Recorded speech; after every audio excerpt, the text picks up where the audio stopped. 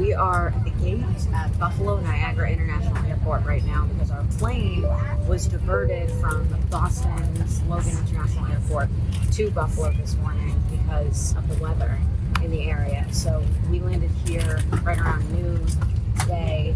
Uh, we were in the air around 11 when the pilot notified us that because of the gusty winds at the airport, we had to circle, circle, circle. So we were circling over Connecticut for what felt like 45 minutes to an hour. And then we were notified that couldn't land. There was a ground stop at Logan.